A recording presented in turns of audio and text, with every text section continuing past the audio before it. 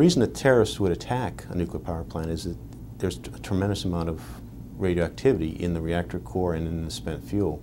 If that radioactivity is released, you can kill tens of thousands of people and contaminate a large area for centuries. David Lochbaum should know. For 17 years, he worked as an engineer inside nuclear power plants.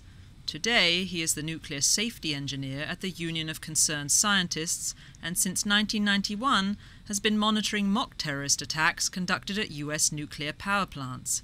The results of these tests have been alarming. What you learn from the tests is if the terrorists provide six months' notice of when they're going to arrive and they follow the rules like they attack only at night when there's not a, a lot of other workers around and they, wear red hard hats to distinguish them from other workers, they're only going to be about 50% successful in causing a, a meltdown at the plant.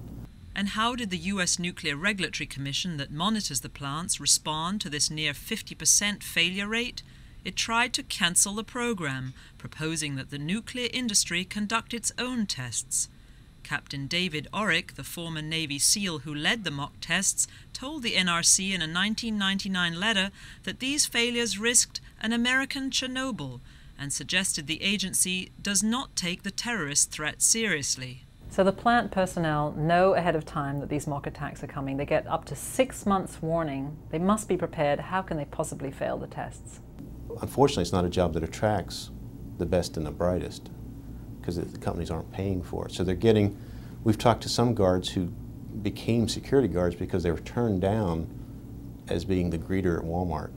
But even if the guards were highly trained, what could they have done against a jet airliner attack like we saw on 9 11? Uh, kind of like the guy on Fantasy Island, they could point to it and say, the plane, boss, the plane, that's about it. The nuclear industry has been running ads to try and dispel fears about security around reactors.